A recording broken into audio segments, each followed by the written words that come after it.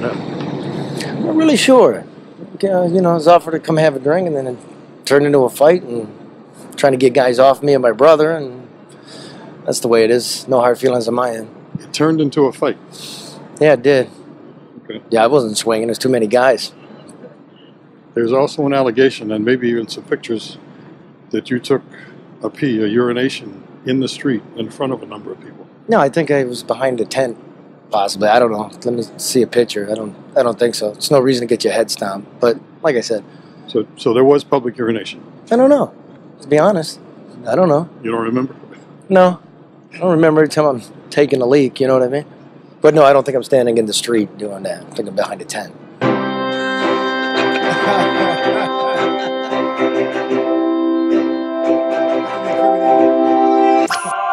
No bullshit. A little urination, maybe, Ira. A little pee. No bullshit. You know what was happening? That very moment, that dude, that reporter stuck his microphone in my face. Do you know what was happening right at that moment? No bullshit. The jury broke for lunch and they were coming back to give the verdict on Kwame Kilpatrick. Wow. Biggest news in Detroit in 20 years. And dude's coming to me like maybe a peed or urinate a little bit. maybe there in uh, Patty's day. A urinate. A urination? Bill Proctor, he, he get deep into it. Though. I guess. No no fucking photo ever showed up because it wasn't true. I'm gonna tell you about it. I want you to keep that in mind as we get into the program today. Now I'll talk about it a little bit. Because there's big urination news locally in Michigan, right? The Red Wings fire um, the Zamboni driver of 51 years for pissing into an ice drain. Al Sobotka. Somebody ratted him out. What the fuck is going on with Get this? it. With this girly man society we're living. in. fuck it. The mayor, the mayor just going to federal prison and maybe I urinated a little bit, which it wasn't even true. I'll let you know about that. That's Ira retired with us. This How? Ira Todd, probably the top interrogator in the Detroit Police Department since maybe Prohibition. Oh, You got a reputation, bro. I appreciate it. Retired. It's important to say. Ira Todd is the only police officer I know in the United States who was charged and acquitted for a homicide, murder, as a cop for shooting an unarmed citizen. The only man I know in the United States willing to actually talk. It's a real honor. Thank you. You know, I mean, that's hard. And Appreciate we're actually friends, and this is no bullshit news hour, and I have to let people know that, Yes. right? But we're gonna look at what happened in Grand Rapids. As always, with us is Karen Dumas, the queen of the scene. Best in the West. Got breaking news. East, East Ira, East. oh, okay. So keep all that in mind. We will come back to that urination video. Uh, Um, also, we are going to give you the news locally, the peeing, everything behind the peeing scandal, the Red Wing Stadium, statewide, the culture wars between the Democrats and the Republicans, and transgender rights and hates, and everybody gets to score their points on stuff none of us are talking about. Nationally, sad news from the border, which is out of control. It is. Stop it. Everybody knows it is. We're going to bring you a little news. And finally, our man from Hamtramck, Yeah. Taras Petros, is taking our advice and he's out there with with exclusive images on the scene from the Russian shelling of Lviv. In Ukraine, yeah. Yeah, that, good. that thing's still going on. So we're, we're nationwide. Everything we think you want to know in a consumable and interesting way. Right? Karen, I got breaking news here.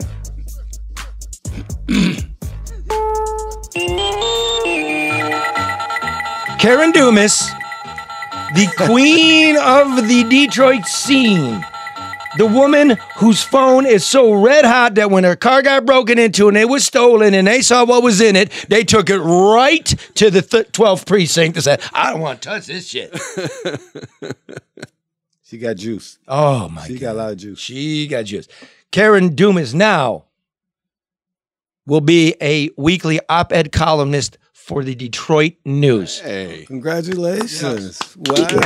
Yeah, indeed. it's great. Yeah. Indeed. Game lucky to have recognized game. Yeah. Thank you. I appreciate that. Thank you very much.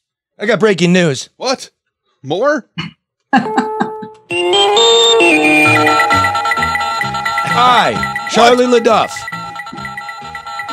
will now accept a position with the Detroit News as an op ed columnist. What? Thank you. Congratulations. Thank you. Do you know, ladies and gentlemen, that's the thing. Stay together, stay with us, stay reasonable. You don't I always have to agree. But the no bullshit news hour and the community that surrounds it is mainstream. I have breaking news. I will still be in this basement. I will Lower not. Be, level, Mark. Actually, I guess it's Lower not. level. Thank you, Karen. I will not be writing for anybody ever. I've got more breaking news. What more?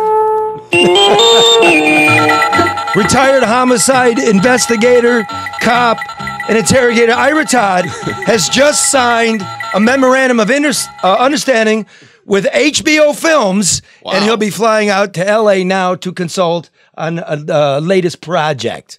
Is this correct? Which we're gonna keep very secret right now. Yes. That's correct. great. Congratulations. Thank you. I'm so happy about it too. All this from a dump ass basement. Hey, Lower level. okay, before we get in, we, we, we want to look from a professional eye, from a guy that's lived the torture of this Ira, Ira Craig, my grand rabbit. But before you do that, the monologue, the rant for this week, I, I'm sorry it came to me earlier in the week. I can't let it go because it addresses the aching, the pain, and the misguided misdirection that you're being led, American man. Eh? Mm-hmm. America is on the decline, and in order to save the country from disorder, men must bathe their balls in a red laser beam. What? no, no, no. This, according to the trailer of Tucker Carlson's latest pop culture prophylactic, The End of Men. The Fox News host, friend of mine, mm-hmm. takes a deep dive into the plummeting levels of testosterone in the United States. It's true. You can look it up he realizes that this phenomenon may be the reason we become a declining country of girly men. Carlson's homoerotic teaser reel features shirtless men wrestling, shirtless men firing guns, and a shirtless man splitting wood with a double sided axe. A double sided axe! That's manly. Looked like the Tin Man with no shirt on. It was unbelievable. Now, the piece de resistance of this reel has to be the naked man standing poolside, baking his junk in what appears to be an ultraviolet light machine. I mean, it's a veritable penis de Milo. Roll the tape.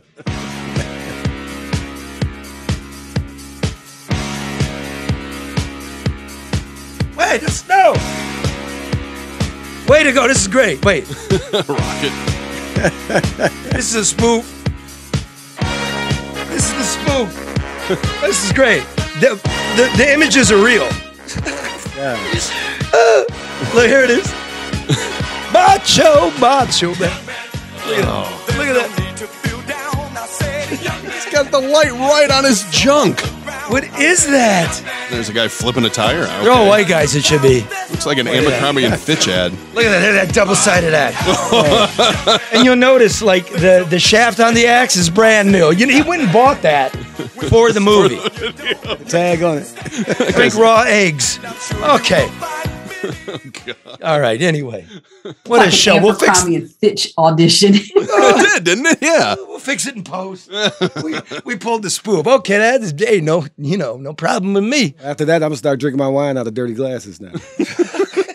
I'm a man, right? Look here, man. So oddball is that testicle tanning tip that Kid Rock, when asked about it by Carlson, wouldn't touch the idea with a 10 foot pole. Orange. Now, no doubt, There's a nagging feeling of discontentment and disorientation among men in America. We all know that. But the fault, dear Brutus, lies not in our loins, but in ourselves. The world is a swirl of inflation, digitization, mass migration, globalization, income stagnation. Think of all the other nations and war. The American man may feel trapped in these circumstances of his that are much, much beyond any of our control. And yet, much of the situation he finds himself in lays in the choices he's made, not in the level of his hormones. Increasingly, the American man looks for reasons larger than himself to explain his predicament. He prefers to believe that he is a pawn in some great global gambit. He's a prisoner of war, held captive in aisle 10, where he's forced to shank an old woman for the last four pack of toilet paper. this is not the stuff of folk ballads. Poet warriors are not supposed to worry themselves with the price of Charmin. The box store on the edge of suburbia is not the great frontier. The American man feels powerless, less than, that his life fluids are evaporating. And so he looks to blame someone. The globalists, the capitalists, the Democrats, the Republicans, the socialists, the school teachers, the cops, the black man, the white man, the immigrant. The list of boogeymen is endless. The American man has been sold out, no doubt, but he's allowed himself to be sold out. He's replaced real books with Facebook. He equates debate in the public square with the drone of news opinion.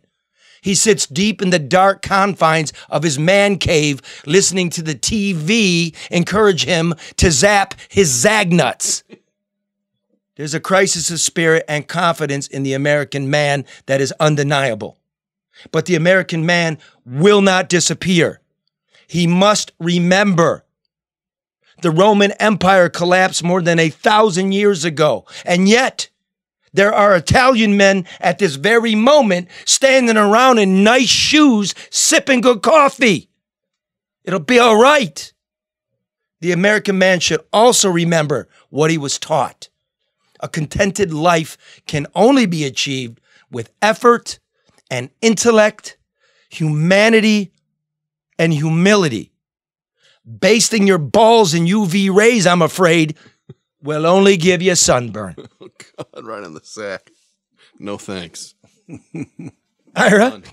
Yeah, Ira, comment on that. I, I never had that happen before, so you know. hey. Well, then don't knock it until you try it. All right. I got warm seats in my car, so I, you know, the oh! same thing. Oh, the, the key, Ira, is when you get a car that has cool seats. I got that Now, too. See, yeah, I got that too. But I can't afford car seat warmers.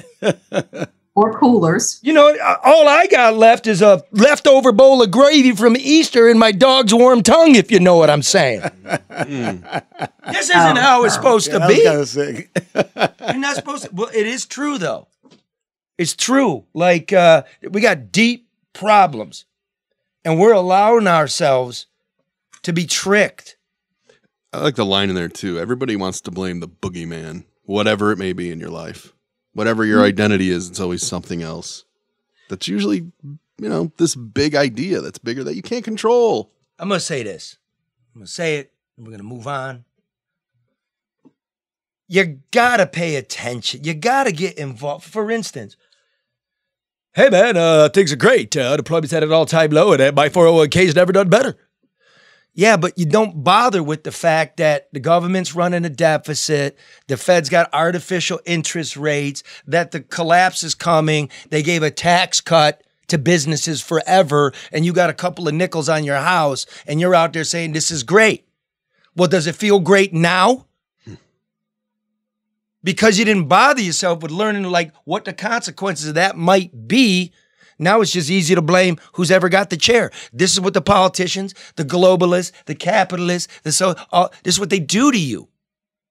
Yeah. Who's ever left holding the bag, it's their fault, and it becomes a simple game of wrestling. Political gaslighting.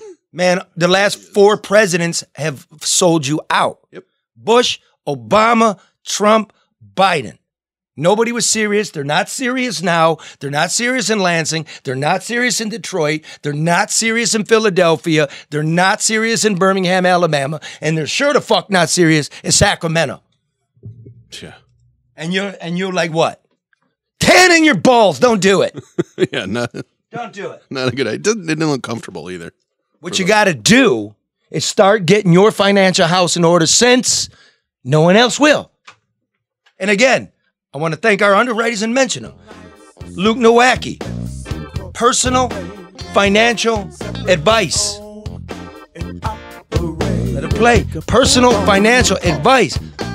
Now it just goes like this Where do I put my money where it doesn't lose value? In order to keep up with what's going on, you need a return of 8.5%, which is historically ridiculous. I have no idea how to do that. I'm just gonna call Luke. Right? Yeah, I got his number here. Hold on. Where are my glasses? Some fucker stole my glasses. 248 663 4748. How do you know that? Because I have a piece of paper right in front of me. Okay. I mean, because I call Luke all the time. Personal financial advice. And if you get if you get a message that does not constitute a trade, financial advice, or anything, just leave a message. Tell him who you are. Leave your number. He'll call you back. Very fast, too. Yeah. Also, After all the ham who are we going to next? We're talking finance. David Hall, let's do that. Sure. Got a lot of equity in your home. You might need to loosen up some cash. Again, historically, mortgage rates are low, low fives. Yeah, you, you can consolidate too. They're doing a lot of consolidations right Mhm. now. Okay, what's that mean? Uh, like if you have all these crazy loans because you spent so much during COVID with all that free money and the bills are coming due and you don't know what's where and this rate's high and this rate's high, put them all together, you get a better rate. Give them a call. They'll get your Boom, at five instead of what, what, what's that credit card if you Oh, don't pay it on time? 25. Fuck, man, be smart, 24. people. Yeah. Stop sitting in your basement bitching at your wife with the bills and the this. Do something for yourself because nobody's gonna do it for you. Yeah. I need you. I need you to be tight. If you ain't tight, I ain't tight. If Detroit Not ain't tight, if And if Wayne of County debt. ain't, go ahead, Karen.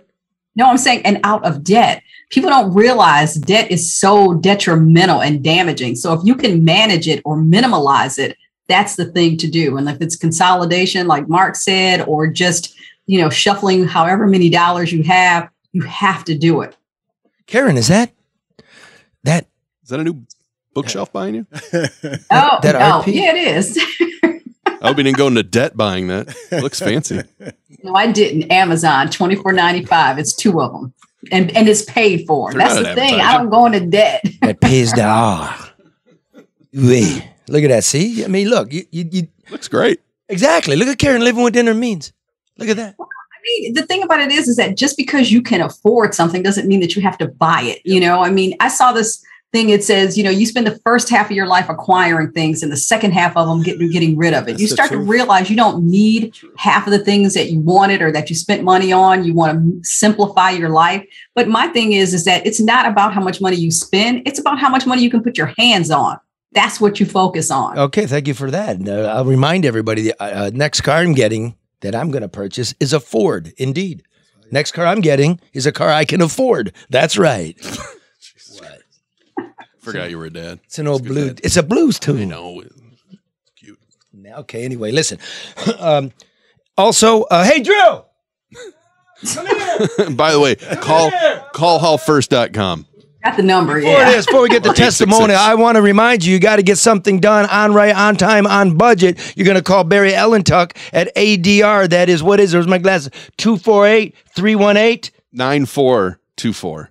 I thought it said 34. It's 9424. Let's see. I don't have my glasses either. 9424. 9424. Try them both. Like, get your stuff done, get your projects fulfilled, get your zoning variances done, get it all done. You call Barry Ellentuck, ADR, honest, ethical, smart. Now, uh, Drew Lane's with us real quick. Uh, Drew, Hey, jerk. I love your interplay with Mark on the phone number. That was really cute. If the number had been right, it would have been a little better.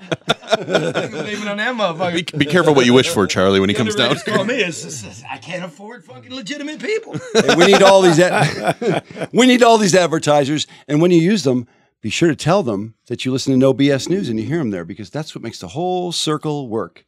Oh, But Never that's why you called me down here because because like every Friday we get we get conies and chicken delivered from American Coney, and you, you're like a dog. Mhm. How how, how much do you love American Coney Island? I'm addicted to American Coney Island because Grace shows up every Friday, and today I saw her. She's carrying two six packs, and I'm like, that white bag. There's conies in that white bag. I know there are. How dare you call her a white bag? Grace is no white bag. Anyway, let me tell you, she brings me two conies every Friday. I inhale them immediately, and sometimes I inhale a third or a fourth because I like them so much. But best of all, Grace loves No BS News and promotes and helps the show and keeps it rolling like the rest of the advertisers. So please frequent the advertisers and tell them how much and how glad you are that they sponsor No BS News. Thank you, Drew. You're welcome. Ah, yeah, look at that. Look, that's a pretty tight nice. show. That It's a pretty really tight show. huh? Thank you. Yeah. All right, now that we got all the business taken care of, let's let's really strange segue, but no other way to do it. We're embroiled in another issue: police, community, black motorist, white cop, motorist Patrick Lyoya is dead. What to make of it? What is here is Ira Todd, retired Detroit PD. Well, you you heard at the top of the show his, his qualifications and his history. Ira, what, before we roll the tape, what do you what do you want to say, writ large? What do we take from this whole thing? Well, first of all, we we don't want a Monday morning quarterback, even though we're going to do that. Okay. But we want to take that both of these people are two human beings, and with human beings comes mistakes, right? And so I just want to be polite and respectful to both families. You know. I like that. What you did was it was a good mood at the top. Let's calm down now. Mm-hmm. Everybody take a breath. It's no joke. It's very serious about what we're about ready to do here. Yes. Yes. Well done. Karen, anything before we get into the tape that you want to say to the community listening or, you know, I like to know what Karen thinks.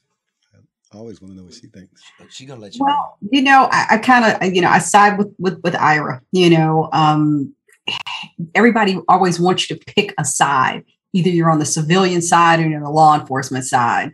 Um, and everybody is human. You, everybody wants to go home. And like Ira said, when humans are involved, there are human issues, there are human mistakes, there are human barriers that no legislation, no march, no anything is going to change, which is why we continue to see these situations unfold.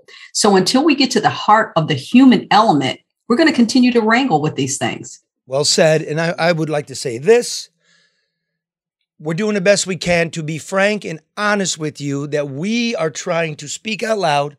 We're from three different angles and perspectives on this, right? And we're willing to show ourselves. We're not God, we're not the end all be all, but it is possible to discuss and maybe get somewhere. So please take this in the spirit of we're just trying. We're not hateful people. We try not to be bigots. I believe everybody is. You wouldn't be human unless you were. And from there, let's begin with the tape that was released by the Grand Rapids Police Department uh, from the incident that happened earlier this month. Um, can I see it somewhere, man? Yep. Can you pull it up? There it is. Okay, I, I don't have it here. Joe, go ahead and transition to yeah. There you go. Okay, wh- why don't we? Uh, and Joe, is Joe running the tape? Yeah. Well, I can run the tape. I can okay, stop and start it. Uh, Ira, whenever you want to say stop or care, anybody wants to say stop to ask a question, that's what we'll do. But let's let's roll it. This it, the the car's been pulled over. One officer, right, in the car. One officer in the car. Lyoya is driving. A friend of his is in the passenger seat. It's raining. It's on a residential street. Hey, stay in the car! Stay in the car! Nelson and Griggs. Can we stop right there? Yeah. Ira, I want to ask you something. This is what I know from. I've been invited to be in a police car you know, sometimes against my will. Mm-hmm. but That's funny. Um, but uh, leave the tape up, please, and don't take it down. Number one, this is what I've been told, and it's true. That car, when you're a police officer, is a coffin. Uh, You're trapped in it. There's no way in, there's no way out. So I'm seeing a motorist get out of his car. He's being told to get back in his car, and only then does the officer get out. What, what, is, what is your take of what you're seeing here? And like we saying, it's money more than quarterback. Please, So- yes. So this know, is just you. Yeah, I would have did a little different. I would have did it even with the approach and even how he pulled him over. I think the distance is too far. I don't think he controlled it. I don't think he had a plan of action. I had a sergeant years ago back at Gang Squad. Sergeant Beasley used to tell us, you can pick and choose where you pull these people over at. You can pick and choose the area, pick and choose the environment, and things like that. I don't think he had a plan of action. I don't think he thought about if this guy gets out or they get out in bail, what do I do? And so initial the initial stop should have been where pull him over, get on the radio, call it out. and pull him over for improper place. I got a vehicle XYZ. Uh, I got a black man who just jumped out of the car. I would have got on my speaker or the radio and say, hey, look here, get back in the car. Because there's no way he could control that situation. You got one guy getting out, and normally most cops know this. If you work the streets long enough, and the gang squad taught us a lot, believe it or not. And because you do a lot of this all the time, when most guys get out the car, they're gonna run. For some reason, they're gonna run. You know, when they we call it the rubberneck. They get out, they start looking around, they looking for a place to run and which direction to run in. So this cop knew that. I understand he knew that, and he was trying to control the situations from a distance, and that was that was a no no too. Plus, you had another car, a guy in the passenger seat. Let's let's let's roll forward here. Dude, I'm stopping you. You have a license? Now stop it right there for well- a second, can you? Now even that whole thing, dude, I'm stopping you. You lose your authority there. Now I, I think you, you can personalize and be a little more personal when you stop people and say, hey, look here, sir, sir, hold up. Don't don't jump out the car like that. You know what? For my safety and for your safety, that's not the proper thing to do, okay? So right now, I wouldn't even put him back in the car now because if I'm gonna get that close to him, I'm gonna control him on the car. Right now, I need you to put your hands on the car. This is for your safety and my safety. I think if you communicate with people and slow it down a bit, you take all that little frustration away. May I ask you this? Now you're alone. Right. He's gotten out of the car. Right. Training wise, I'm not. Again, I'm, t- I'm not trying to get in the mind of a cop or Mhm. judge him. I'm we're, we're trying to figure out how to de-escalate this business in America. It doesn't appear to me that the cop does himself any favor walking right up to the guy, mm-hmm. dude. Now all of a sudden you don't have distance. Mm-hmm. You you've it's a uh, uncertain situation. Guy's mm-hmm. gotten out of the car, and now you're nose to nose with him. It's kind of a catch twenty two. You know what? Let me it- ask. I'm going to ask this too. There's still another person in the vehicle. Exactly. To me, the officer opens himself up because he can't see the person in the vehicle. The guy could have a weapon. He could fire at the officer through the vehicle. I mean, there's a lot that, that to me, the whole situation is compromised from my perspective. And I, I'm trying to get in the mind of the officer here. So he, the only thing he knows is that this plate doesn't match the car. But the second he gets out of the car, he's going to presume that he will run. Well, most likely because what happens is, and from my experience, when people jump out of the car, a lot of times they're getting ready to run, or they're getting ready to run so that person in the car with the dirty stuff can get out and walk away while the cops are chasing them. Let's make this clear though. When somebody jumps out of the car. Yes. In the overwhelming majority of times that you pull somebody over, nobody runs. For the most, for the mo- well, not all the time, because if if Oh, the if- over. uh, let me say it again. Listen, the super majority of time when you pull somebody over, nobody's jumping out of the car. correct, Okay, so f- for the public, don't jump out the car. And and for your safety too, And it's a legal order, right? Yes. The cop's allowed to say get in the car Yes, get back in the car, sir. You or know. get out of the car. Yes. Okay. And he's trying to control the situation. Well, that's is that his legal or her legal authority, and you must abide by it. yes, Oh, That's the law. yes, and he has a right to stop you and investigate you. Well, now we can get in, and this is we're gonna guess, but we're not gonna guess. I just want listeners to know. We do got to ask because we know the history of this country, of Detroit, of Grand Rapids. Mm-hmm.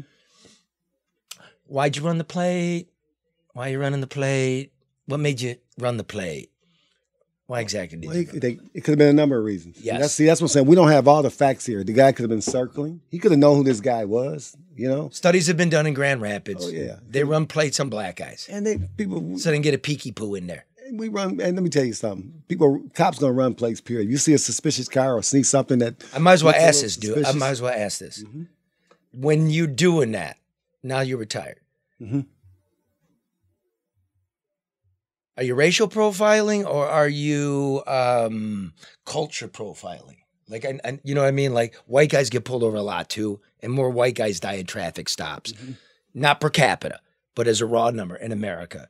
Than Well- black. well, is it is it a certain kind of raggedy ass car? There's smoke in there. There's dice hanging. Well, but think about this. You can pull over for anything. You can I- I pull over know. somebody for not sitting directly behind the steering wheel. Right. So there's a number of things. You can pull somebody over for having a who- dirty windshield. I want you to be honest. So who do you decide to pull over? The white suburban mom because she's doing that, or the guy driving the '77 Fleetwood? Well, you, you sometimes it's just, Honesty. It, I'm just saying, it's all about the circumstance. He may have saw maybe a screw loose in that plate and said, "Let me run this plate. Don't look like it's." Why? There's screws loose in everybody's plate. But it may be improper plate, or I may have I'm seen not. this I'm vehicle not asking before. for this situation. okay. I'm asking cop, street guy. You work narcotics. You worked gangs. You're looking for a type of person, Correct. right? Correct. Some some giveaway, some tell, Yes. right? Yes. That includes brown guys, white guys, and black guys. Yes. You're looking for a culture. Or you're looking for, it depends on what unit you're working. If you're a traffic cop, you're looking for traffic violations. If you're a gang squad cop, you're looking for felony stops, those kind of things. You're looking for drugs, drugs and dope. So it depends on the circumstances that you're working in. He's a one man car, so he's probably like a traffic car or just somebody that patrols and pick up reports and things like that. You know, and that's another problem I think having one man in a police car, especially in this climate these days. One man in a police car, and people don't like police right now. You know, Oh hell no. you know. So this guy from the very beginning, he was up against, you know, the neighborhood. the And this is important to say, Karen. I, I think we should. It has no place in the court of law. Mm-hmm. It doesn't. But we're not worried about the court of law. We're worried about what's happening in the streets of America. Mm-hmm. Why would it do get out the car and run? Well, I'm gonna tell you, and we're gonna get to a little bit later. Like I said, I've been invited in the car and put in the car. Mm-hmm. When you look at a man's history, why would you run? This guy got busted a couple times Yeah. in connection with stolen cars. The guy got misdemeanors uh, for those. They they bargained them And down. he was getting sentenced that day on a traffic violation. Drinking and driving. Drinking and driving. Multiple drinking So what the cops sometimes don't know, I'm pulling you over because I see something that it's that warrants me pulling you over. I got a legal right to pull you over. But we don't know sometimes like that could have been a felon in there. He could have had a gun in there, could have had dope in there. And like this cop probably didn't know, he was being sentenced that day. So this guy's probably thinking like, oh, they pulling me over. I didn't show up in court or something. Yeah, we're And not going I'm to state going of to mind. We're not going to state. Okay. But right, Right. But again, like we're looking, saying lots of people. Lot, sorry, Karen. Lots of people in society are like, why would you bolt? It was just a fucking improper plate. You're getting a ticket. Maybe it gets towed. Because he probably knew if he ran my name, I was going to come up with a warrant and I'm going to wind up going to jail. Karen, go ahead, please. Um, I think it's important to say because you know people always eh, you know we've been very careful to say we weren't there we don't know the state of mind there are variables that exist that you know we can't monitor or respond to but everybody's so quick to say why don't they comply you know all they had to do was comply or yeah they want to cite you know whatever his outstanding issues were which were not known at the time of the stop. Okay, I'm I sorry. We got to do this. We we already qualified it with that, Karen. The fact I'm is, saying, but I'm, I'm reading people's comments, and I'm just saying, I think it's important that when he's pulled over, that officer doesn't know that he had past tickets or or any of that. I, so that's not what we're saying. What we're saying is, dude decided to run. What guy in his right mind decides to run? Have you ever run? Who, me? Yeah. From who? No, I've been I haven't gotten any trouble. Let me make this real plain. Do I look like a guy that went to private school? Do you think my daddy had a boat? No. No. Do you think I've been pulled over with warrants, handcuffed, put in the can, had to do the weekend over at what was it? Oh, it used to be on what was it, the 13th? Mm-hmm. And then they won't give you no water and you got to be there all four day holiday weekend. You're drinking out of a fucking toilet. You think I ran? I don't want to die. Comply. And you want to hear something else? Once he ran, guess what? He just violated another law. It's called resisting and obstructing. because the mm. officer gave him a command. Mm-hmm. So he just escalated up to a felony. Is this is a felony. legally you have to comply? Comply. It's not a. It's not a. If you want to, it's the law. You must comply. Absolutely. Okay, D- but hang with it, Karen, because we're getting somewhere, folks. Mm-hmm. You're going to be surprised, I think, how this conversation turns out. Right? But we got to be sensible. Right. Okay, so let's roll it. Stopping you. Do you have a license? Do you have a license? For what? I'm stopping you. Do you have a license? What that? Do you have a driver's license? Do you speak English? Yes. Can I see your license? What that you want? The plate doesn't belong on this car. Do you have a license or no? Do you have a driver's license? Yes. Where is it at? It's in the car. Get it for me. What that you want? The plate does not belong on this car. Amen. Grab me my my right right there. Pause, please. I don't know. I'm asking you as the police officer. I think that's dangerous It was totally, to ask a guy to reach in the car. it was totally That's bad training. bad training. Bad training. He didn't have control of the situation. Now you're gonna let him reach into a car with another person in the car, could have handed him a gun or anything. You know, What should he have done? I would have I would have told him, put your hands on the car. I would secured him, had him there. I'd have got on my radio immediately. Okay, this you know, this he got split second stuff to go on. But I'd have got on the radio and say, I need assistance. I got somebody else in the car. This guy looks like he's gonna run. You know, he's moving around. I need assistance here. Let him hear it on the radio too. They know somebody's coming to the area. Oh, that's you a good know? point, yeah. Excellent. Okay. Would you have made the passenger get out of the car? At, not not at that time. Okay, excellent. Because right now There's no reason to. he's in there and you can kind of watch him. You watch his little furtive gestures, and anything else. So Okay. you know. And you got that car between you and that passenger too. Let us roll on. Right there. For those of you listening, not watching, he's talking to his friend in the car. It's right there. You know, there's nothing's there. Nothing's coming out. Door gets closed. No, No, no, lights. no. Now he started walking. Stop. Stop. See? Put your hands right. So now he's okay. Pause. Yep. Is that a media place to do it? Well, he, right now, think about this. Instinctively, that cop, what else can he do? Okay. You know, and it's like, okay, I, I just gave you order. This guy's getting ready to run. I'm gonna put my hands on him and try to restrain him. He starts fighting. So at that point, he's already engaged. He's got to move forward with it. Okay. Put your hands right. Stop. I'm gonna be honest with you, right? Stop right there. At that point, right there, because they had another guy in the car. And I'm gonna tell you something. Instinctually, Yeah. they teach us. You know, catch that rabbit.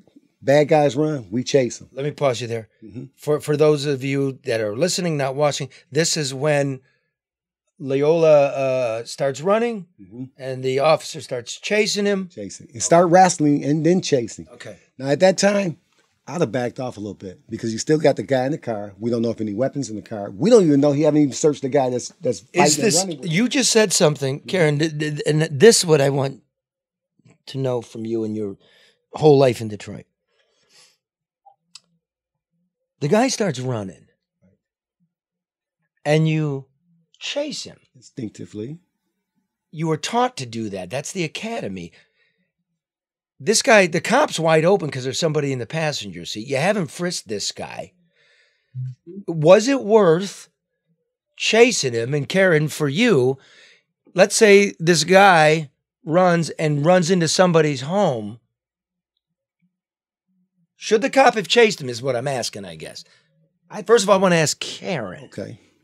Well, for me, and this is what I said when this first happened, there were two opportunities to circumvent the, the, the situation. The first one was when the officer asked him to get back in the vehicle. That was the first, that was the first opportunity. The second opportunity was when he ran and the officer chased him. Like Ira said, at, at some point, in maybe when he first pulled him over, I would have called for backup. I'm thinking he got pulled over for a plate. It's that's almost like chasing somebody uh, you know, from from for stealing something from 7-Eleven and you end up in a car accident and somebody's dead. You got to look at, to me, just as from a civilian standpoint, weighing, you know, the risk and, and the possible outcome. So no. Okay, Ira, I agree with her. And I, I, I think at that time, you got to keep assessing the situation as you go along. I need to pause here. Okay. He agrees. How many years you got on? At 35, 40, all 40 in law enforcement. You lived everything. And I'm telling you, I've been in that situation too. Oh, I know you've been. Where you've been by yourself. I've been in an undercover car where I've been by myself. We get the guy, I try to grab him, he takes off. You know what I do? I look at him and I just start calling it out. It's- Sometimes a- it's a- experience. this is a credibility moment, though, for you know who we are. Mm-hmm. You know, I hate to make it about us for a minute, but you gotta. Re- Karen's super smart. Not only just savvy, but understand. She understands what the police academy is. She's had training. She's run the biggest city in Michigan, Mm-hmm. and that's Yes. And you got to understand too, the officer wasn't wrong for giving chase either. Huh. He wouldn't know he was legally justified. But the question now becomes we keep talking about shit we don't know in this country. It's a matter of training, which is why we asked you to come in here. Maybe this is a place where training needs to change. And it's just not training, it's experience. It's- it's- there's a number of things. Okay, but know? but this maybe shouldn't be a place. Yes. Why? Because there was no weapon. You got one person, Yeah. One man car. Okay. You got another person in that car. Okay. Right? We don't know if we got somebody laying in the You back. still haven't radioed for backup. That's right. Okay. So we don't know. And he's he's the guy I've already tried to take your taser. I couldn't tell if he Not had got- yet. Not yet. Yeah, but no, it, it, first It's he coming, tried to, yeah, he tried to get it out, but it's like he was fighting with two things. So he got his taser in his hand. No, no, you're getting ahead of the tape. Okay. I'm Okay, sorry. so what, what we'll do is we'll keep going. The, the, the off, a guy runs for a low level infraction, right? And he's exposed. Yes. Hasn't called for backup. Jackrabbit goes. Hound dog follows. Instinctually, though, that's what cops gonna do. I know, but maybe there's a, a thing right there. Hundred percent right. They got to start talking and training Instead of like hut hut hut hut hut. Oh, okay, because we're talking about de-escalation Yes. and, and trying to end this thing, which, be honest, only in the age of videotape do people of the higher class now believe it. And again, the blacks in this country catch the shit end of the stick on any measurable thing. But it happens to white dudes and gals all the time and brown dudes. I believe, along with racial component and the way poor people act, is also the way that we get treated. and the way law enforcement treat poor people too. It's got to change. And I don't want to take it away from this as a, a black man, but there is a class component. And even And if we're going to address this, we got to address it for everybody. and even how the white officer talked to him. Let me ask you this: If that would have been a man, a white male, the same age, in a car, but maybe in proper place, you think that white officer would have got out there and talked to him the same way? Yes. Do you think so? Oh, you you mean like if you're lower class dude? yeah. Yeah. You think Oh, so? you think the cop would have chased you? Yeah. You think it would have beat your ass? Yeah. Oh, I believe that part. But do you But think he would have just the other communicated the, same there way? was a young lady that had been pulled over. I don't remember. I think it was East Point or something. I don't know. And she repeatedly spat on the police officers. I mean, they didn't shoot. I mean, there, there have been ish, eh, opportunities, or you know, where I would imagine that if, in fact, it were uh, just normal for officers to respond this way, you know, I mean, I've seen video where these people are fighting police officers. Watch this. white And the police fighting officer still police retreating. Yeah, but watch right. this. Watch this. What you're doing. Watch what you're doing. I've seen video. I'm telling you the real life, and I'm Okay, asking no, you but about. we're- Wait, wait, wait, wait. Hold on, hold on. No, the man that you mistakenly killed. Mm-hmm. What was his color? he was he was a, a Cuban, Brown. brown. That's Mm. right, What color are you? black. Mm. It's just the shit, dude. It's the shit. So I can show you as many videotapes, Karen, of like really bad, unjustified shooting of white people, but we don't. It, it's not fitting the narrative. I'm just I- here to you say know. we go, if we're gonna fix police, poor people, then we got we better include everybody. We're gonna we're gonna treat this as a ca- at least I want to, as a case for us all. But we got to not For just us fix. all. But we just not got to fix the police. Some of these citizens got to be taught. Ah, that's it. Thank you for I'm serious. Some of these citizens got to be taught. And it's like, you know, it's nothing wrong with following the orders of a police officer. It's nothing wrong with, how about some public announcements or how about some billboards? Hey, look here, guys, this is what you have to do when you get stopped by a police officer. This is what we're doing That's here. what that's what I said last week. I said there's not enough information about what per- people should do when they're pulled over. Thank Do you. you do you crack your window? If it's dark, do you illuminate the interior? Do you put your hands on your steering wheel? people don't know. The other part of it too is part, like you said, Charlie, the narrative and the existing tension that people automatically expect, both from civilians that have been pulled over and from civilians from a police perspective. There's already an anticipated level of tension. So if you're not de-escalating that level of tension, you're just adding fuel to the fire. And let me say this right off of that. Like I know a white man, conservative, does nice for himself, not super rich guy. He said to me when we're talking about this, why don't they teach this in school? You know, what you're supposed to do, how you're supposed to behave. I I said, hey, brother, I thought you came from the political point of view that the, the school don't tell you what to do and how to behave. That's your responsibility. So teach your son what he's supposed to do. I teach my daughter. I don't expect the school to teach my kid how to behave. So there is a, a component of personal responsibility. Let's roll this tape. 1915. You got one running. Now he radios. Only now. Stop. Tackles him on the neighbor's lawn. Stop. Okay. They're they're tussling. He's got his head in the ground. It's a lot of stops. Okay, now there's physical force. hands behind your back. He's kneeing him. Is that justifiable? It's justifiable. Why? We can let the tape roll. We can keep letting it roll. You use whatever force is necessary to effect the arrest. I want to ask you this: uh, How much? Um, n- now you see a guy come out of the house, and you know that guy's in the car. Is, uh, is he aware of it, or is it just I got to stop this guy right here? Right now, he's just probably focusing on that guy right there. his tunnel vision on that guy right there. He's got to fight with this guy, make sure this guy don't grab his gun, don't Training grab problem. his taser, Training all that problem. stuff. Well, we know how this ends, but at that point, he could be in a lot of trouble if He- he there be was a killed. weapon. There's not, but if you know, just trying to think in that moment, right? He could be killed by the passenger. Yeah. It just that And he's fighting for his life. We got to give. We, we got to be honest about this. That cop is fighting for his life. Now, what we see, like we sitting back and uh, relaxed in our chairs, and we critiquing this cop, but you wasn't in the middle of that right then and at that time. And when you in the middle of that, trust me, you ain't thinking about nothing else but going home. well said. You know. So I'm just being honest. You know. That's, that's well said. What happened? We back? Yeah, what happened? Drew, And Facebook. Facebook, Zuckerberg can't handle the truth. Man, Can't. Okay, anyway, we're back. Pardon our dust. Usually I'd flip out, but this is so compelling. This is so honest and real that we just, that never happened. I'm glad y'all went and got a beer and everything. And if anybody wants to be the beer sponsor, here's where you would go. Plug it in right here.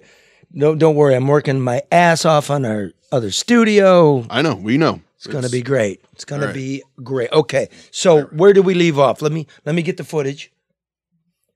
We are now in Grand Rapids. I believe it's April fourth.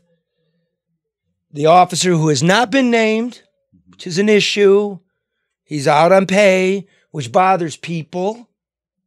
He shouldn't be named though. Not right now. They don't normally name criminals until there's actually a warrant secured or he's been arraigned. So in all fairness, the officers should be named while the investigation is going on. I don't believe that as a reporter. We're, we're busy blasting everybody well before anybody gets arraigned. Yeah. Just say we're talking also the court of public opinion.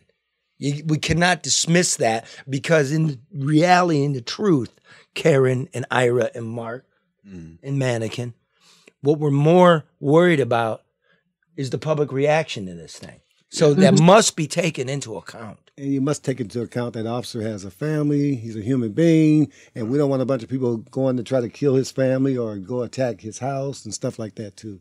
So let's take into account that human side too. You know, let's protect that officer too, because he was out there protecting us. I agree. Yeah. Karen, do you agree with that? Of course, Charlie, you remember my brother served uh, a lot of years in law enforcement. Uh, my sister had a partial career in it as well. I have the utmost respect for law enforcement. I don't have respect for people on either side that don't have respect for the other side. But no, I told, I totally, I, I'm, I'm all good with that. Okay, then let Perfectly me said. let me take this position for the people that get pulled over and this happens to in their families. Maybe you should be suspended without pay and if things are adjudicated your way, you get your back pay.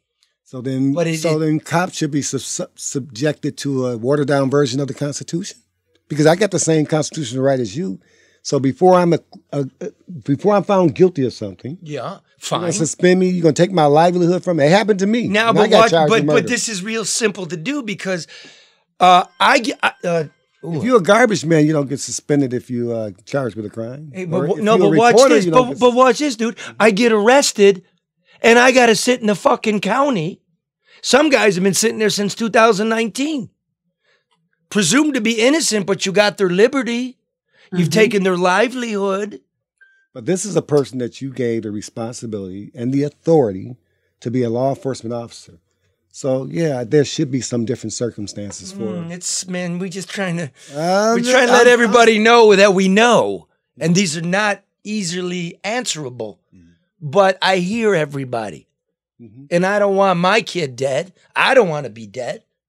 But if your father was that cop, you don't want him dead either. No, I don't. could have easily went the other way. One hundo. Yeah. Right? And if and if the name gets out there, think of well, like you Forget the to. name. Yeah. Okay, I, I accept that. Okay. The pay, I could I could garnish your pay. I see, I don't, I don't agree with that, and I, I'm glad we're talking about that. When I, when I got into my altercation, it was split second decision. I- Altercation? well, I killed a guy. Okay, split second decision. Okay, and I was suspended without pay. Okay, for over a year. Oh, you were suspended without because Without you were pay. charged. No, I, I got suspended without pay before I got charged. And when I Oh. got charged, you know, it just kept on going. Interesting. But when when they, they decided to, ch- well, none, you're right. I think once I got charged, they suspended me with pay, and I was off off the books. No benefits, no medical benefits. I had a whole family. That's a key I- deal, though. Let's let's get back to that. Yes. Once you were charged, yes. then they took your money and yes, your bennies. Okay. Yes, and I still think that's wrong, because now while I'm fighting for my for for my to Life. prove my innocence, right? I can't provide for my family. Then you got to deal with the fact that okay, I just killed a guy, so I got to mourn this guy's death. I got to deal with I'm a human being who just killed another human being, whether it's justifiable or not. I just took somebody's life, and now I got to worry about my family, my kids, my wife, their lives. So now you can put added stress to this officer who's just out there trying to do his job. And even with this cop here, they can say what they want to say. I tell you right now, he didn't get up that morning and say, "I'm gonna go put a bullet in the back of somebody's head over a traffic violation." Can I just Mm-hmm. make a right turn real quick? Yes, because sir. I feel it, man, and I, I think only that you can have a relationship like this. Could I ask it out loud? Yeah. Without reliving it, looking at it today, what, 30, 25 years later? Yeah, 1993 it happened to me. 30 So or 20. It's coming up on that anniversary. Not going to be a good anniversary for you. right, right. April 28th. Do you feel today that you were justified? Oh, I definitely was justified. I heard a shot, saw my partner fall. And then how we were trained, the way I was trained, I acted exactly how I was trained. I eliminated the threat. We're not we're not taught to shoot to kill or anything. We are shot. We're taught to eliminate the threat. Shoot. That's well, you shoot center mass. You don't you don't do headshots. You don't do none of that crap. You shoot center mass. That's what you're trained to do. And you have to Center mass means the big part. the big part. And you, you want to eliminate the threat. We're not trying to kill you. We're trying to eliminate that threat immediately. Okay. So I was justified. I heard a shot, saw my partner go down. I saw a guy reach before that. I took action. Split second decision. So I think that's what the courts and the jury took into account. Said this was a split second decision. They saw the same thing I saw. Even some of the witnesses saw the same thing I saw. Thought that this guy had shot my partner. So here it is. I'm investigating two other people on the wall. My partner get an altercation with a guy. Hear a shot, see my partner fall. I step in front of him. This is before we wore vests. So this is just how you do things instinctively. You know, I'm gonna take a bullet for my partner. You don't think about it because that's my partner. You just killed my partner, and so you're gonna eliminate that threat. And I fired multiple rounds. Right? Okay. Let's come on. I just want to let people think about what they just heard just for just for a second. A real human being who's been through this. Thank you so much. I appreciate Okay. it. Uh, if we can continue on, please. So the wrestling, Yeah. he can't sub- he can't subdue the man. Now see, this is a good angle. I haven't seen this angle. What we try to provide here.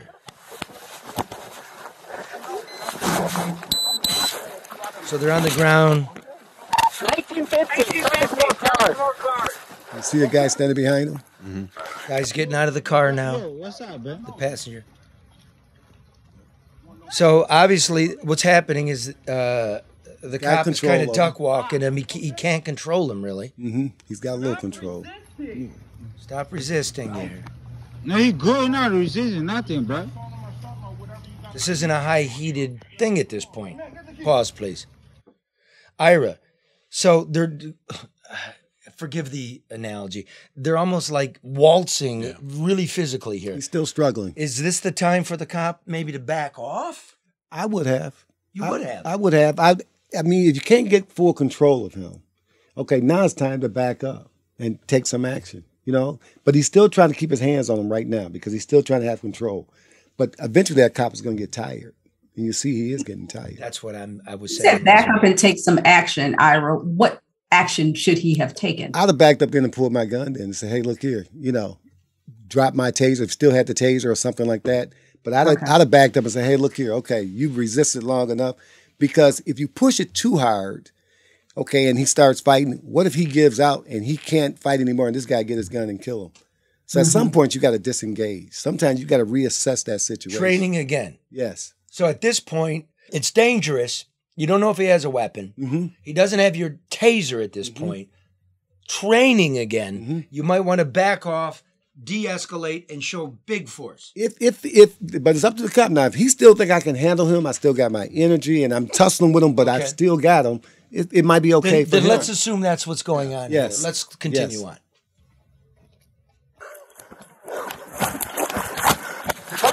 Now comes the taser, What? and immediately Now, can you stop right there? Yeah. Now, this is what I want everybody to look at. A lot of people saying that he's trying to take the taser. I think honestly, he's trying to prevent from being tased. Yes. So you know that fight or flight type thing. You State, know, state of mind again. We're doing that, but I don't see him pulling the taser. right? right. He's trying to push it to the ground. yeah, he's trying to grab it. Okay, And but he's state he's state of to- mind. yeah. All I know, what I see here, is a taser's a weapon, yes. and you have a police officer's service weapon. Mm-hmm. That, it man, you take it to a whole nother level. Right. I I can guarantee you, I never have touched an officer's service weapon. You touch my gun, you going you going you get to have it. You get to keep it. Hmm. If you know what I mean. So you What don't. What do you mean? tr- I, I will pop you. You try to take my gun from me. I'm being real. I'm an old school cop. Okay. You try to take my gun from me, I'm gonna pop you. Because what you gonna do with my gun? I'm not gonna give you a chance to kill me. So I'm just being Now, real. You'll have the other guy that's that's there, and the, he's out of the picture. Could be doing anything else. Am I right, Ira? I mean, Yes. he's still a threat. And you saw the guy around the other car that came out the house, and so we don't know who these people are or how they may engage. So that's why I said I may have released that guy and took took reassessed that whole situation and backed up and kind of scanned the area and wait for my help to come. I didn't think you talk like that. Mm-hmm. I'm just being real. I, okay. I'm shooting from the hip. I, I my mouth's hanging open. Okay. Let's let's continue. You see that? It's firing.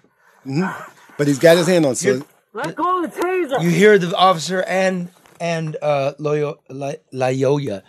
They're breathing hard now. now at Okay, that now they're underground. What's the problem? Let go of the taser. No, like, like he good. Like you can talk to him, bro. See, now, the officer had the taser then. No, they both had the taser. Let's Okay, go back. Can we go back a few frames? For those of you listening, they're on the ground. The taser is yellow. And here we go. Uh, one more, two more, right there. They both have the taser, as I see it. Mm-hmm. Right? That's why the cop's Yes. got his arm out like that. I think the cop had got it out of his hand Well, then, then why is he holding it to the play it again? A couple mm-hmm. frames. because it's in his hand. But I think the This is what will happen in a court of to the law. ground. See it? Look, so They cop bo- got no, the- they both got. I Oh, can yeah, see see both of their hands it. on it. There you go. See it? Yep. Okay. Now let me just make a point of that. Now that taser's not pointing towards the cop either. You think the cop's looking at where the fuck is he? Well, I mean, you They're both doing like you not got your me. hand. You got your hand on the taser, so you know I got at least that taser control for a minute, right? Okay, pause. Let me watch. Let me watch. Watch. State of mind. But I'm just watching this. Obviously, the cop's right-handed. I can see his revolver, his pistol on his right hip. Mhm.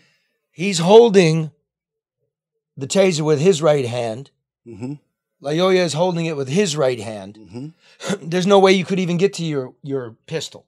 You couldn't get to it because you're right-handed. You'd have to let the taser go Mm-hmm. in order to get. So now, at this point, Lyoya's on his back, cops on top of him. They both got the taser. Mm-hmm. You're in no man's land. There, there's no way to disengage now. Mm-hmm. Is that true? Well, he's he's gonna disengage. I know, but I mean, look at you, the the Oh. Swami. Yeah. who can tell the future here. That's right. Okay. Uh, yeah, we're frame right. by frame. Okay, frame by frame. So That's there's right. no way to get out of this. no. Okay, let's go ahead. No, like, like he good. Like you can talk to him, bro. 1915. Now, what we're seeing here is the Passenger. Uh, passenger out of the car walking towards them. Yes. Bad scene. Yeah, yeah. Like he good, bro. Like can you talk to him like good? Like can you? Yeah. Stop grabbing him like that. No. Now he good like for real. Yo, you hit him too. Look at that shit. Still wrestling. Wow. It's like a minute and a half. Let go of the taser! One, let go of the Now he ain't got no taser. I ain't see. I see that. Let go of the taser! Two, let go of the taser. Now he goes for a service. Three, drop the taser. He's got a weapon. Is boom. Okay. Now you saw that, right? I think maybe we want to like. And I tell you this. Uh, you know, hold on a second. We don't need to dwell on that shot. If we can, you know, maybe not have it up. He's dead. He's been shot. Go ahead, Ira. Now you see when he pulled his gun and put it to the back of his head, right? And I think he was just gonna threaten the guy, like let go of the taser, let go of the taser, let let him feel that cold steel against his head. You know, I'm not playing now. But you see when the guy pushed up and he tried to push him back down, that's when the gun went off. I bet you accidental shooting. I'm willing to bet lunch on that. Okay. I believe his gun went off. It was in the trigger guard. I don't think he was going to shoot him at that time, but it boom. Makes sense. And I got to do the qualifier. Mhm. Whatever you believe. That's not what happened. I mean, right? And again, I would say I could give you a qualifier. Maybe I was putting it in your shoulder blades. I thought about that. And and I've been wrestling for a minute and a half. And you know, because you've pulled that weapon before, you've trained with it, one inch, a foot away, like you're tired and you and you pull it up a little bit, that's a, that's the distance between your shoulder blade, your shoulder, and your head. We could guess all day long. oh yeah. The big question here now. Mhm. Was that comp justified? Should he be charged? Don't know yet. We got to see the whole thing, the whole picture, the whole investigation. Right. That cop may say, "Hey, look here. He turned the taser towards me," or "Look, I was exhausted. I couldn't do anything else. He had already taken my taser. He might take my gun now." You've kill me with it." qualified at that school. What do you think? I think, honestly, I think they're gonna charge him. Should he be charged? I don't know, man. That's a hard call. Well, I'm asking you for the hard answer. Okay, for the hard answer, let me think here. Remember, I didn't say should he be convicted. Okay.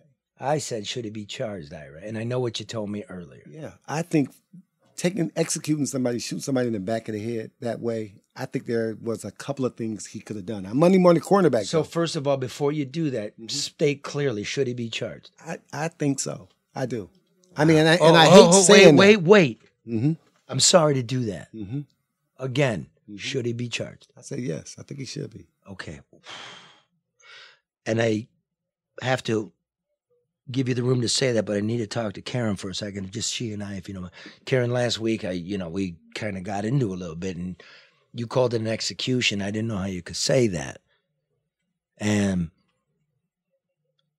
Ira, you know, I, I know the guy. I trust him implicitly. He's, he's got a lot of um, experience. He used the same word. Maybe, maybe I'm not seeing shit right. Well, I mean, Charlie, you know, and when you when you're talking about whether or not he should be charged and, and that you you've got legal implications that these things have to fall on under in order for charges to be filed. Um, conviction is a whole nother thing. But you both pointed out something that's going to weigh heavily on this as they do similar cases around the country, and that's the court of public opinion. You know, a lot of this and what happens will be in response to the level of, you know, public outcry that continues to be heard as a result. But as I pointed out last week, too, there are positions that require a different level of decorum and demeanor and, uh, you know, constrainment um, in their positions. And being a police officer, a pilot, a doctor, those, those positions don't, they require something more than a person messing up your um, order at McDonald's. Um, and so there is a higher level of expectation uh, in terms of how situations are handled. And I and I agree with her 100. percent You know, she said a lot more elegant than I could ever say. I know, right? But yeah, I know she's amazing. But I'm telling you, really, think about this. You know, people went crazy when Michael Vick was killing pit bulls. That's a human being, and you put a gun to the back of his head. Now, and I and I get it. Nowadays, cops don't know what to do because back in the day, like I said, we didn't use hands. We it was a physical job. We were allowed to fight somebody. I work gang squad, and guys will tell you I shot and killed somebody. Yes, but I've had several guys pull guns on me that we fought with guns, and we physically fought them and took the guns from them. And I'm not saying you have to do that, but I'm saying there was there was a lot of different things that should have been done up until that point. He shot him in the back of the head. And I just think it, he could have disengaged a couple of times and pulled the guy. If the guy came at him, you know, I, I'm backing away from you now. Look, I'm gonna step back. Look here, you put my taser down, I'm gonna shoot you. Or I tell you what, if you if you keep on doing the way you're gonna do, I tell you what, I'm gonna shoot you. Whatever. Talk to this guy, whatever. But you're fighting with this guy, you're struggling with him, you hold him down, back and forth, up and down, and everything. Now you're back on top of him, and your last resort is to shoot him in the back of the head. Come on. So- if, if if if you had that much sense to put that gun to the back of his head, and this is crazy for me to say, but I'm just saying it. You could have put it to the shoulder blade. You could have put it to the shoulder. You could have found something that was less lethal to stop this guy. You could have popped him a couple of times in the leg. I mean, I understand if you fear of your life, But you said critical mass earlier. critical mass. What do you mean? Like the leg, that's not critical mass. No, a center mass. No, I'm saying that that's on a, a Okay. sit- situation. We are taught to stop the threat. So we're taught not to kill, to shoot, to stop the threat. Do right? you think? You think that the officer should be charged because it went to the head? I think so. Okay. I think it went to the back of the head. You I- also think that the officer, at many times there, could have de escalated this. yes. You also know that the law says if you fear imminent injury, Mhm. that you have the right to take his life. Correct. You've also said you feel the cop feels imminent threat. Yes. So again, we're just this is we're not in a court of law. Mm-hmm. You think the man should be charged? Do you think the man will be acquitted if he was charged? No, The officer. no, I think he's going to have some problems. I really do. You do. Oh yeah. I think he's going to have some problems. And again, I want to stress to everybody this is just an expert who's been through stuff. You don't got to be hating or sending dirty notes. And that's fine. do that. Respect the man. He's he's just telling you from a, a real place. And we all live in a fantasy world. And I'm telling you from my humor perspective, not just a cop perspective. I get it. If that was my son, I would have wished that guy would have punched him in the face a couple times and make him release that taser. Hit him with the pistol whip and make him release that taser. You know, step on his arm, put your weight on his arm, they make him release that taser. It's my daughter, and I'm telling her never put your fucking hands on the taser. yes, So there's no question. yes. See, Ira speaking from a level of experience that this guy may not be privy to. That's another thing. You know, Yes. training is one thing, but experience helps to heighten that level of uh, of training that you are armed with. And I don't know how long this guy was on the force. Um, you know, Seven years. every, okay, there you go, right there. And, mm-hmm. and he was out by himself. Yes. That that doesn't that doesn't even sound Well, right. hey, me. hey, you know, And- Grand and- Rapids got a brand new chief of police. I would rethink and take a look at what your police force is. This is when we went to the beginning of the show, and we're all talking, looking for boogeymen, and we want to blame everybody. You know more about Miguel Cabrera's lifetime batting record than you do about how many police you have on your force, what the budget is, who they are, what traffic stops look like. Why isn't that interesting to people? And why you got this one man car working all the time? We got these one man cars out here. And I know it's about budget and everything else, but what about that human factor? That cop's life. Why are you why are you jeopardizing these cops' life by having them ride in one Do man you car? see what happens? Again, I get what defund the police means. It means how about we get some money into alleviating pockets of poverty in this country? And yet, if you're going to look at it from a law enforcement perspective, we got to do the opposite. What we got to find the money in is billionaires, skyscrapers, and little handouts and bullshit contracts. That's where the money's at. You Um, can't. let me ask you a question, Ira. Uh, some one of our one of our listeners was asking. You know, Hey, Karen, before fact- wait, Karen. I'm sorry. What are our, what are our listeners thinking on this? What, Well, I mean, you know, people quick are quick to say, and I understand, and that's one half of the story is to have the civilian comply. I get that, but there are tons of people who did comply or weren't in the position to comply that still ended up with the same outcome. Is there anybody? Uh, excuse me. Is there anybody in our community that's like agreeing with what Ira's saying, or is it just a bunch of people yelling comply? Well, most are saying comply, but they also are weighing in saying that the officer could have uh, diverted the so. situation. Because You a, know, a long and- time ago, th- this used to be like a community of everybody, and I really hope that those from Detroit and Grand Rapids and Escanaba and uh, Imlay City will stay with us too, because it's not as easy as comply. But I think people, a lot of people, a lot of our listeners, they see the balance, you know. and- Good. and like that's you what I'm asking. That, Karen, that's what I'm asking. Because I'm Yeah, there, and I think people do. It is a balance. I mean, I don't think any. Yes, I don't. That's it. I'm with you balance. too. People I say I say should be a comply, but our brother over here is like, dude, it didn't have to end up that way. This is what we're trying to be. It's it's it's not a game show. We're trying so hard. To, this guy, can I get a close up here? Ira, Ira, just look at him. It's not easy to find this man and ask him to speak honestly about his life and what he knows. It's not easy. Mm-hmm. And I, I, I honor you and thank you because I, I'm, I'm just was hoping, man, you're like an antidote to one or the other. Mm-hmm. And that the real life that you live is so murky that we're all afraid to live in that real world. We all want to live in TV world. It's not like that. Not the real world. So let's stop doing it. But again, I tell my daughter, put your hands up here.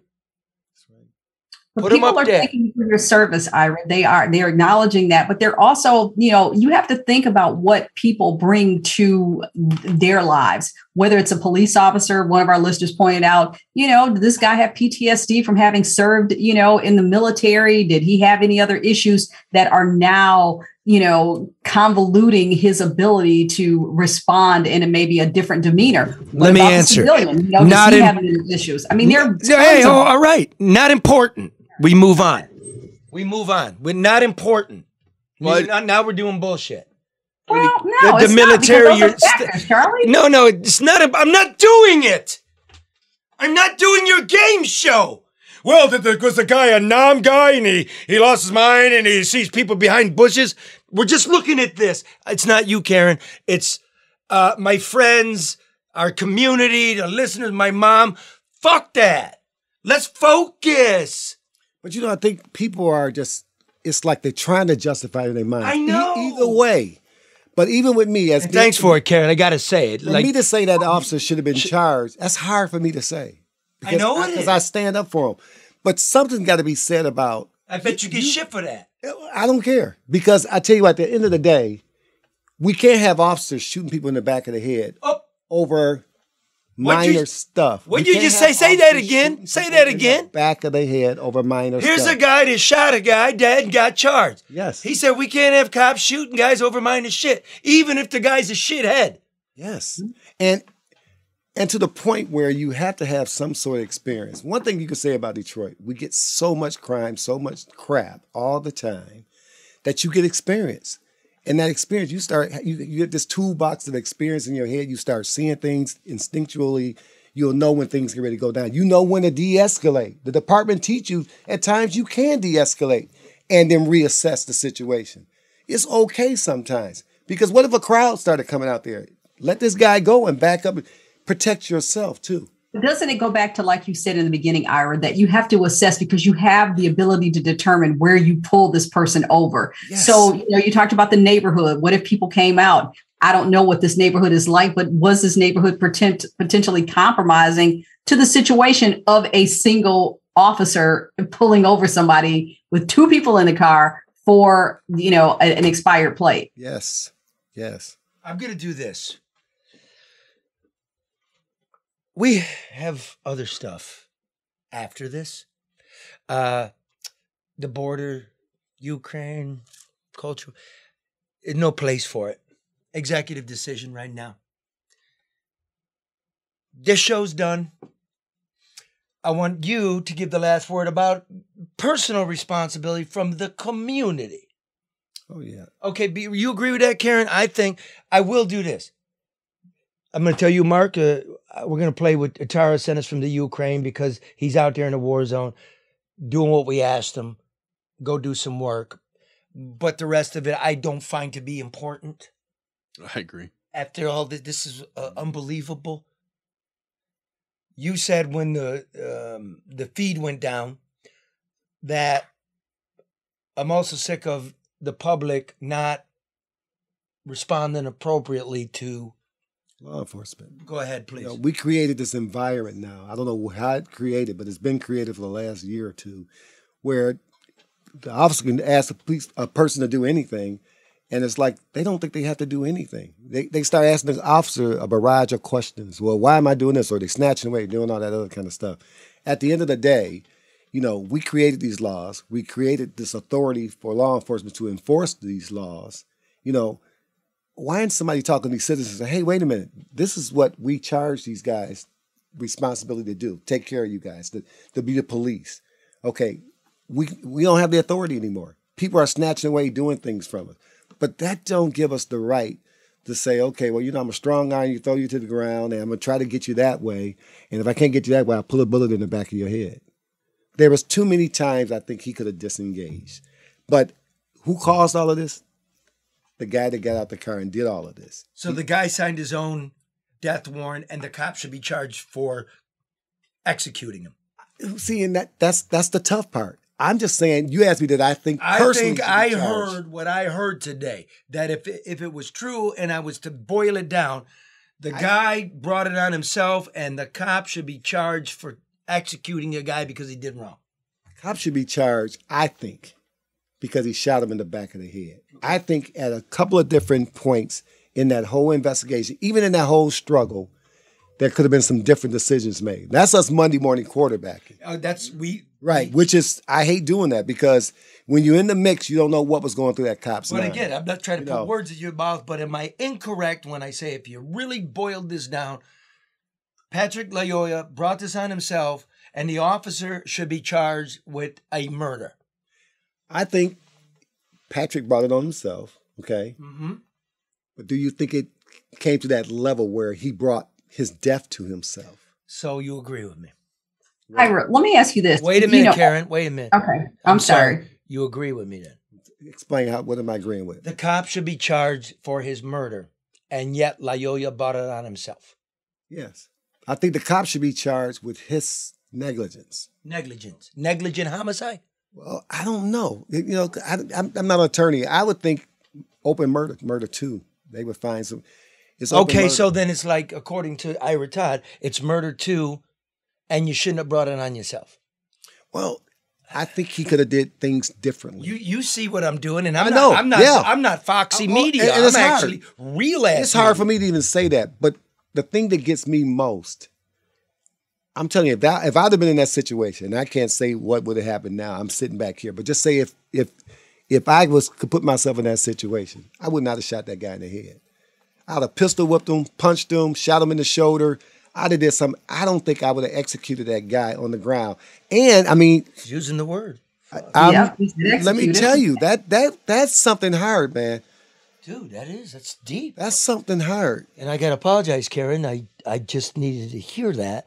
That's okay. What you were gonna ask? Yeah, If I wanted to ask because you know, as as a CPL holder, we're taught that you know you're you have to your life has to be threatened in order to fire a weapon.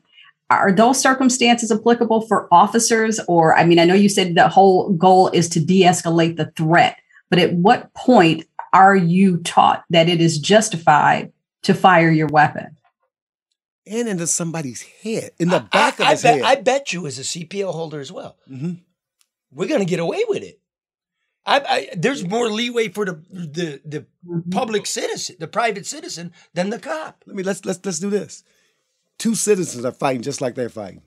Okay, They're Okay, gonna get charged. but Well, you one got a him in the gun? back of the head. Oh, come on, man. One got a gun. Let's let's call the taser a gun. They uh, both guys got a gun.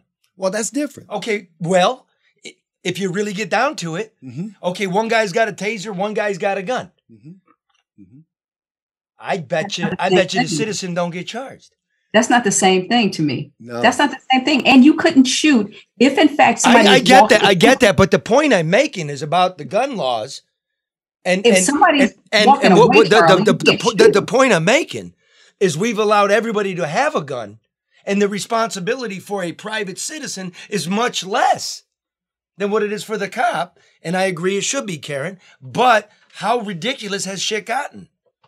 Well, it's ridiculous. There's no question there. But if somebody does something to me, I have a weapon and they're walking away from me, I can't shoot them in the back. That that didn't happen here. Well, the guy was running away. So the cop tackled him. He tackled him. No, he- the shooting came when we're ar- when we're We're- battling over a we're weapon. battling. Yep. Now I know, Karen, somebody's battling you over your gun. You're gonna put one in them. You don't give a fuck where it goes. We expect more out of the police. What Ira's saying is, then we got to expect more out of the citizen.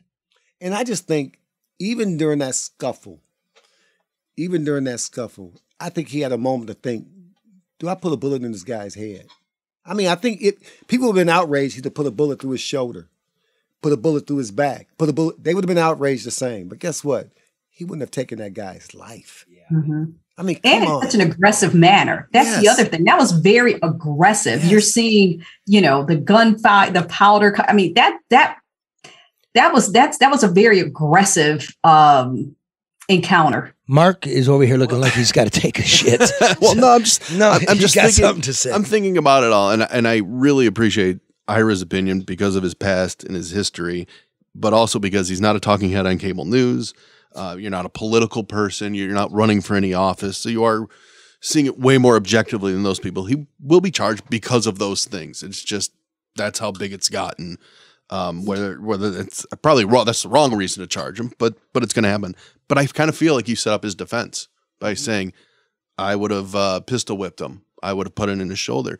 It kind of makes me feel like it is accidental because do you feel like other officers are thinking like you, like that's what they would have done? and, and that's, that it went off. And that's a couple of days later. Now, You're not if si- you in the mix, I, who knows? If I've got that nervous and scared, I might have put a bullet in him. I don't think I heard from you that it was accidental. Well, you said No, you, you see- didn't. Oh, think it wait, was. Mark. I told when I did Alan's show, I was telling Alan if you, I watched the video. If What you, show? Whose show? You- Alan, Who's Alan, Alan? Alan Right. Lengel, Deadline Detroit. Oh, I'm Oh, sorry. the fucking Okay, Deadline all fine. My boys at Deadline Detroit, oh, stealing my shit. Okay, Mr. Detroit News. No, but I tell you, really, if you really watch the tape, I really believe, and I'm just talking from an old school cop, and I've done this too. Don't, hey, I'm, I'm gonna be real about this. But if somebody don't want to comply and they fighting you so hard, I stuck a gun to somebody. I tell you, you don't drop it, I blow You your head off. You what? You you put stuck a gun, to Oh, I done somebody's stuck gun. Oh, I done stuck guns to heads. I done did all that. I'm hmm. telling you, let's be real. Yeah, the we- police gonna do what they need to do to live and No survive. bullshit news. Yes. But I mean, at some point, I'm sure he put the gun to his head. It was like, drop it, drop it, and it's gonna be like a thing. But if you watch this boy, this man or whatever started pushing up, and he, when he pushed him down, the gun went off. And if you look at that, and when you look when he went down, ah. I bet you it was an accidental shooting. Let's be honest, you're from another era, but it's not legal for a cop to put a gun to your head. no. Let me, can, let me ask one more it question. wasn't legal. It wasn't legal for us to bust him in the head. But let me tell you something. When we were more physical in, in policing, and that's not right. um, Don't get me wrong now, but we were taught to rule with iron fists. When I worked gang squad, we fought more guys with our fists who had weapons. And see, back then we wasn't afraid of weapons or people like it seemed like they are now. And I think what's the problem in the back of cops' mind, they don't know what to do. The public got them so confused. I don't know whether to grab this guy too hard. It might have been why the guy got away. I don't know to grab him just slam him on the ground because that guy really resisted me. I'd have grabbed him and slammed him on the ground. But they don't know what to do now. Do you punch him in the face? We used to get physical and get into a physical fight with these guys, and then you didn't have to use your weapons. But nowadays, people are videotaping you so much. You punch him. Oh my God, I can't believe he punched him like that. What do you guys want cops to do? What, do- what do we need to do? Ira, can I ask you this? Because um, one of our listeners, John, has pointed out repeatedly that had this officer failed to take control of the situation or had been uh, out subdued by the guy that he pulled over, that he would have been ridiculed by the other officers back at the precinct. Is that Can something else? that we- that may fuel things that you know hey you know this guy got the best of you uh, it, can- beco- can it becomes a struggle between you and the civilian Can I answer? yes Boo fucking who? Boo fucking who? But no, what she? But, but what I she? know, but no, no, no. I, I got it. I got the point. But but real, The answer is boo fucking who? but it still goes back to that human thing. You know what? I even this. You snatch away from me. How dare you snatch? I'm a, I'm a, I'm a fight you. I'm the police. You, you let me. I'm gonna put you in the cuffs. Yeah, but you know the question was, you go back to the precinct and it's on the video and like, uh, look at you, pussy. Okay, then that's the deal now. Then that's the deal. It ain't the '80s. This is what we're asking. What's the guy's name? Brian. John John, it's cool, dude. Great question. What society at large is doing within the context of what Ira said, cops don't know what to do. Part of it's got to be fuck it if the boys back at the precinct gonna laugh at you. There ain't no dead dude, and you ain't hiding worried about your family. but that's a different level of mental maturity Uh, okay. that may not be present Let me say this. Let me say this.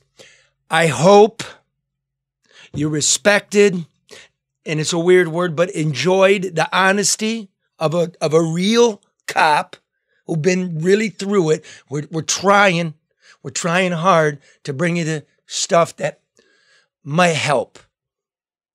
Much honor to you, man. I appreciate you. And I want to say this.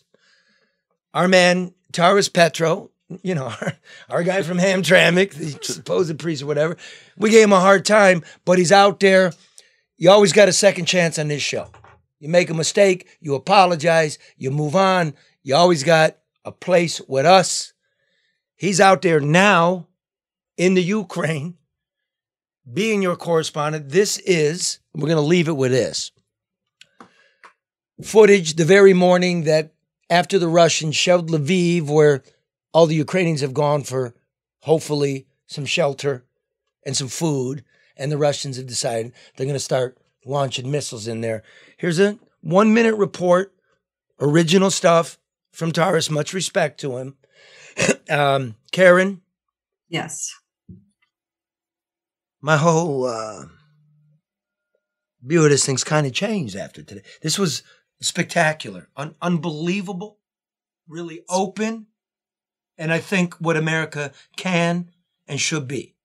Very, very proud of what went on here today.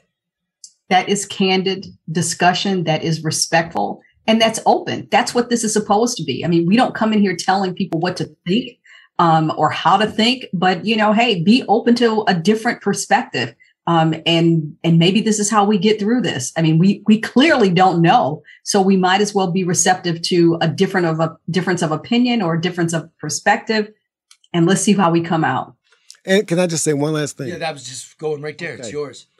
Think about this. The laws say what a reasonable officer would do. Was that reasonable what he did? If you think it's reasonable, then he won't be charged. But if was it reasonable for him to stick a gun to the back of this guy's head, and and he still had a little control over this guy, a little bit of power over this guy, but to stick a gun to the back of his head and execute him, kill him, because you know he Said the guy that used to do it, and only by the grace of a hiccup, Mhm. you didn't get tagged with that one either. Right. And that's what I'm saying. That's I- why it's deep. I don't want to. I don't want to burn bread on this man and hope he get. I don't hope he get charged. But I'm just saying. I'm just looking at it from my perspective as a cop, as a human being, as a old broke down old cop that's retired now. That's not fight old. that well fighting cancer, and I'm. I think differently about life. You think God gave you cancer because you took an unarmed man's life? I I just really believe that You do, don't you? You have some karma like that. Yeah, Yeah, you believe that. Oh yeah, I believe I, some of I- my I life. think that's shaped- important. Yeah. So I just think once you go through things and once you live long enough, you mm-hmm. realize just how precious life is. And to take somebody's life for something like that, even though he's fighting him, I'm telling you, there could have been other things I think that could have been done. But I'm money money quarterbacking. I mean, I might have been did the same thing. I wouldn't have did it in his head. But I may have shot him in the shoulder or something like that. And I'm not saying officers got to point and try to shoot a gun out of somebody's hand or shoot a taser out of somebody. That's unreasonable. But all I'm saying is you got to consider that we are policing real human beings out here, real people who's going to make some bad decisions. And some of those bad decisions shouldn't cost them their life just because we have the right to do it. And I want to let everybody know what you have here. When we started out with the American man, is we have one that you've uh, attained the title of elder, I appreciate that. I feel it. chieftain, the sachem of wisdom. And we, we thank you. I really do, man. I, I, I thank you for doing this today. appreciate you. And I and I hope y'all rewatch it and you know whatever blah blah blah blah blah. You can find it in blah blah blah blah blah blah blah. but uh, with that, uh, here's a report from Taras uh, Petro uh, from the Ukraine this week. We are live at the place that was attacked this morning by Russian missile uh, attack. This is one of the four missiles that uh, that hit Lviv. Uh, 40 cars were damaged in the process of this uh, um, uh, tire repair shop or auto tech center being hit. And now they are, as you can see, they are trying to deal with the wreckage that was uh, destroyed this morning at uh, before before sunrise. Live from Ukraine, from Lviv, Ukraine. And we don't know if police are on the scene. We can't tell. All we see is the workers now trying to go through the rubble to see if anybody else is hurt, injured, or Well, uh, deceased. peace on earth. And if man won't leave you in peace, you have a right. Till next week.